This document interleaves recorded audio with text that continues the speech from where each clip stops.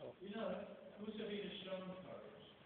But I have to say that at the breach, because I do think, as I said in that week, everything hung the balance. I think at the breach, like happening before him, he didn't quite rise to the expectations of humanity. Um, he could have caused the issue. I mean, he, he was in this limbo under, we, nobody knows exactly, he was under some kind of virtual say nothing. But if he caused the issue, either the issue would have been forced and something would have changed, or he would presumably have obliged the authorities to imprison him, and imprisoning him would in turn have been galvanizing.